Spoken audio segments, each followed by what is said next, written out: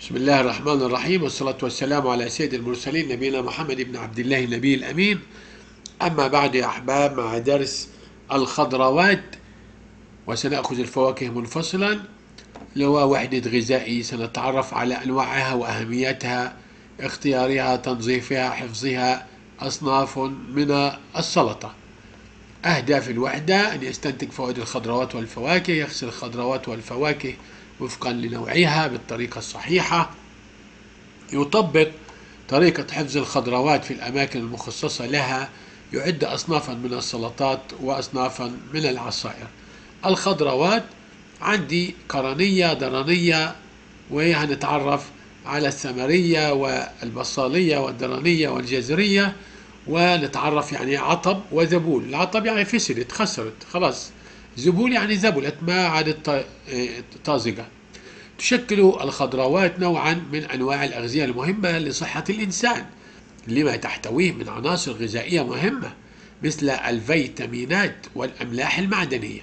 تحتوي على فيتامينات وأملاح معدنية تقي الجسم من الأمراض بيسموها مجموعة الوقاية لأنها تقي الجسم من الأمراض والألياف تساعد على التخلص من الفضلات. تسهل عملية التخلص من الفضلات. يبقى الفيتامينات والأملاح المعدنية تقي الجسم من من الأمراض والألياف تساعد على التخلص من الفضلات. هنا أنواع الخضروات ورقية زي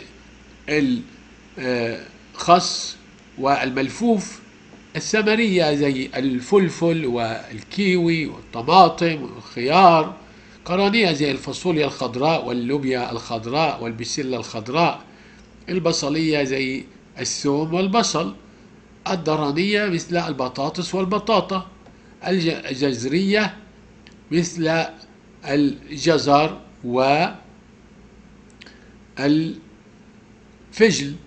هذه اسمها جزرية.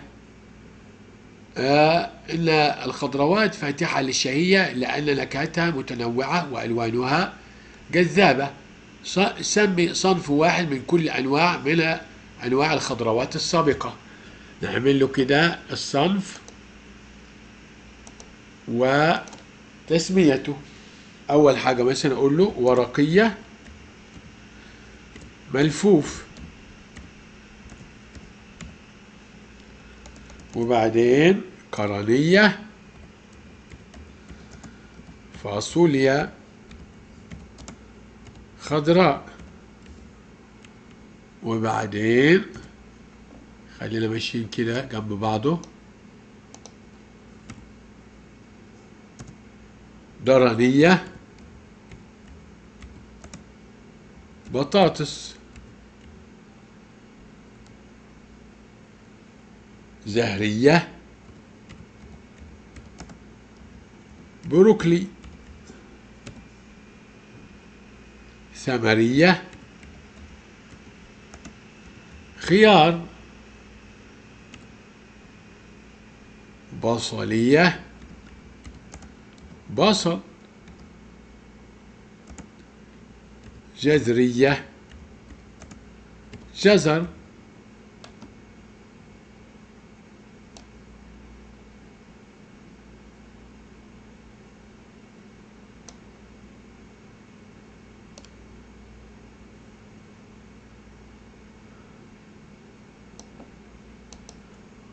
هذه أمثلة.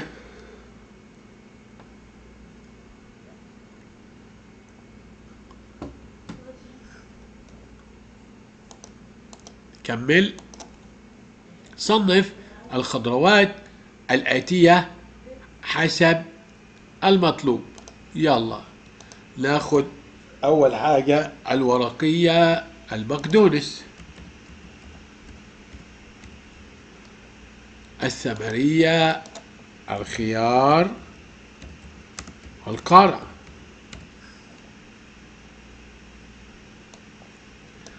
القرنية الفاصوليا. البصلية الثوم. الدرنية البطاطا.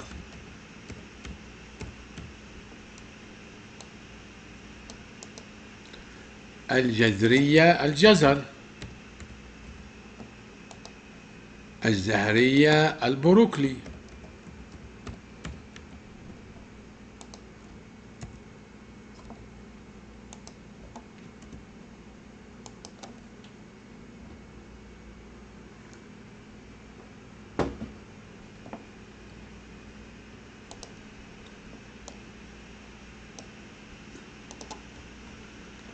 تغسل الخضروات قبل تناولها مباشرة وليس قبل تخزينها للمحافظة على قيمتها الغذائية. يعني إيه؟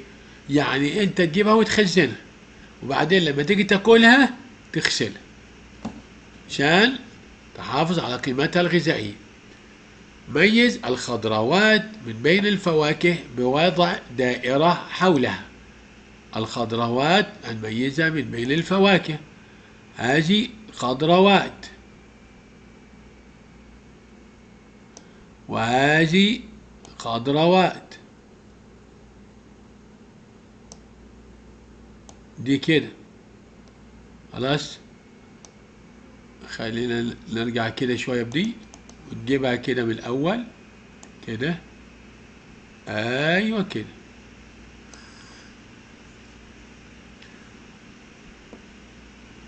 تمام؟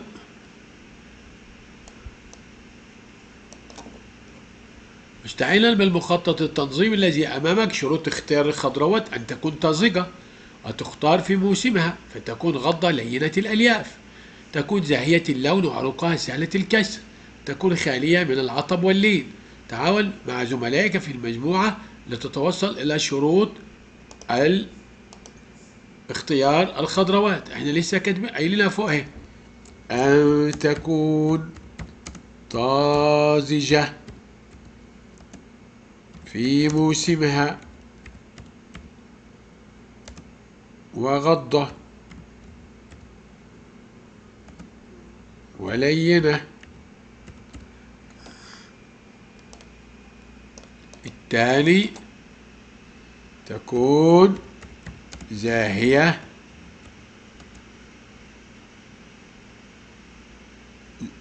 اللون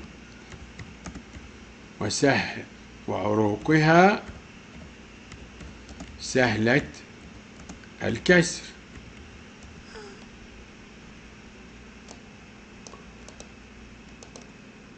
تكون خالية من العطب يعني ما فيش حاجة فيها خربان. والطين نبعد ما يكونش فيها طين.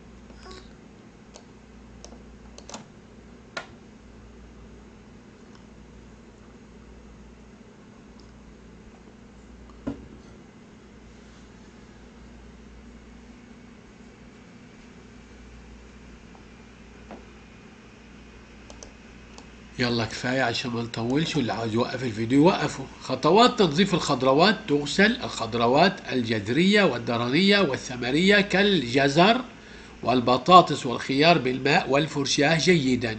ماء وفرشة لإزالة كل ما يعلق بقشرتها مع مراعاة عدم تجريحها.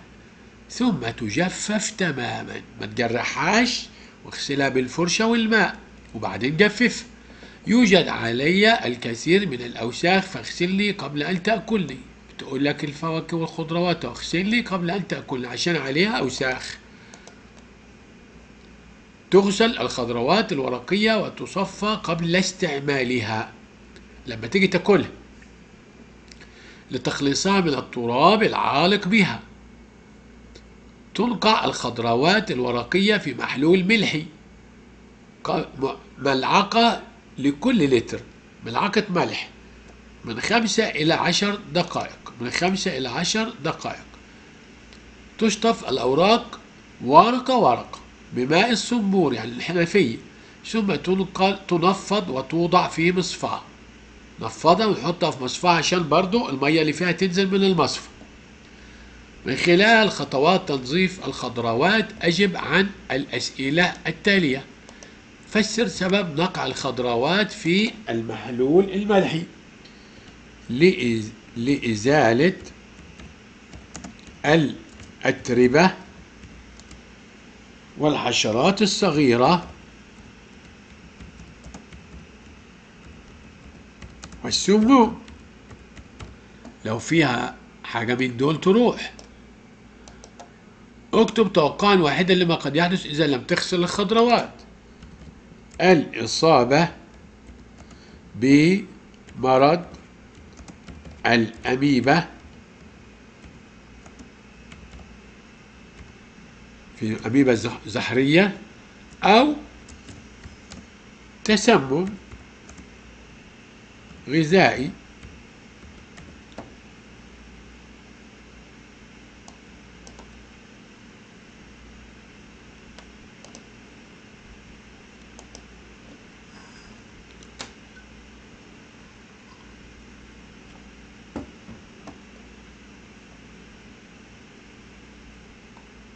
معلش أنا ممكن اخلي الاميبا بالألف كده. الاميبا أفضل.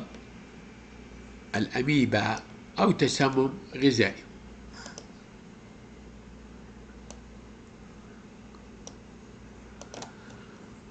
إن الكثير من الحبوب والتمور والخضروات والفواكه تزرع في المملكة فهي إنتاج وطني. والحمد لله أقترح طريقة للاستفادة من الماء المستعمل في غسيل الخضروات. مثلا أقول ري الحديقة. ممكن أقول ري المزروعات.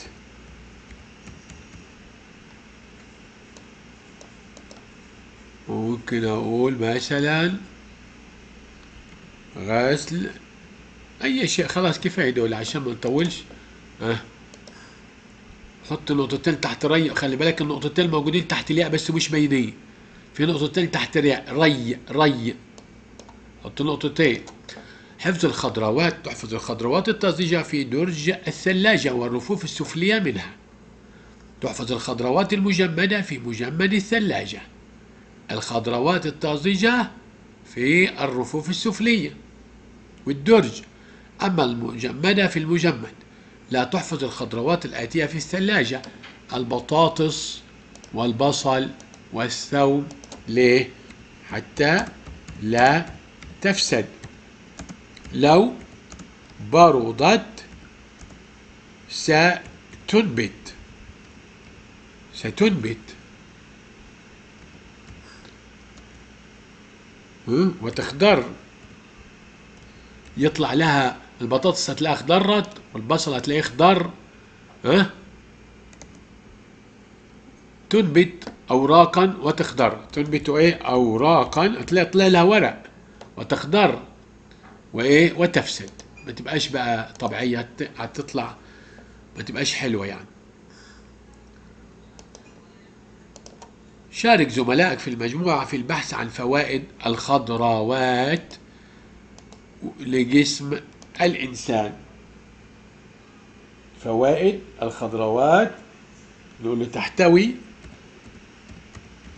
على فيتامينات وأملاح تقي من الأمراض. وتقوي المناعة وألياف تسهل عملية الإخراج.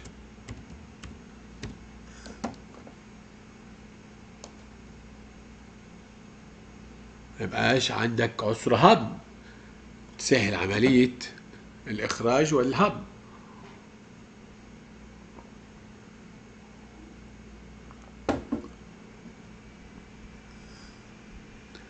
اللي هو الياف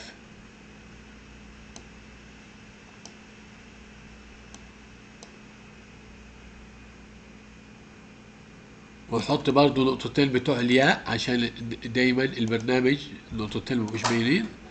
هنا كده تقي أحمرها. تقي. خلاص. وهنا برضو تحتوي.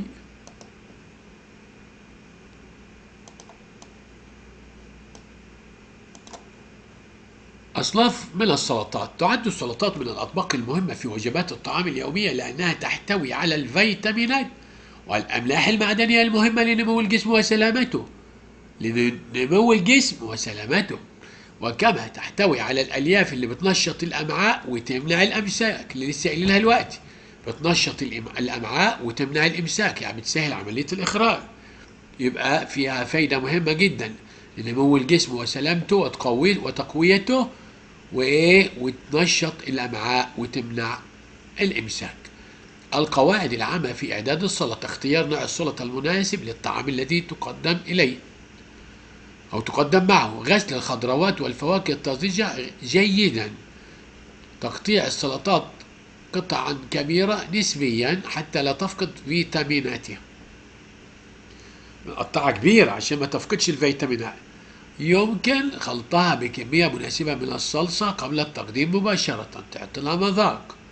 أصناف السلطات سلطة الخضروات حبتان من الطماطم ثلاث حبات من الخيار حبتان من الجزر ربع حزمة بقدونس ملح وفلفل وعصير ليمون. يبقى اتنين طماطم تلاتة خيار اتنين جزر ربع حزمة بقدونس ملح وفلفل وعصير ليمون.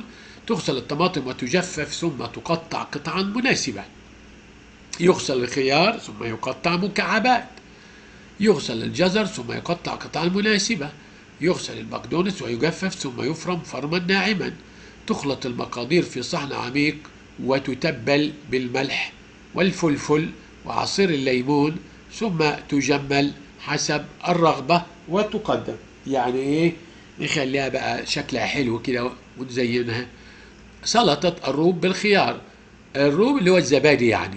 كوب روب زبادي اللي هو كوب الروب حبة خيار واحدة فص من الثوم المفروم لأن الثوم ده فيه قيمة غذائية جدا. ملح قليل من النعناع المجفف. ملح وقليل من النعناع المجفف.